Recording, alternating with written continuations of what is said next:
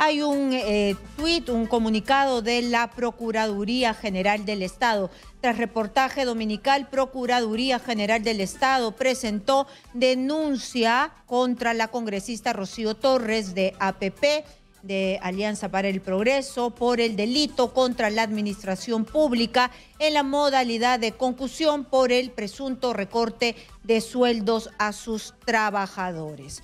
Muy bien, los que nos ven en las redes y en la televisión tienen el documento en la pantalla. Entonces se le va a investigar, solicita el inicio de diligencias preliminares. Ojalá que el Congreso de la República levante todo lo que tenga que levantar para que se le investigue rápidamente. Estos casos no se pueden seguir este, pasando por agua tibia.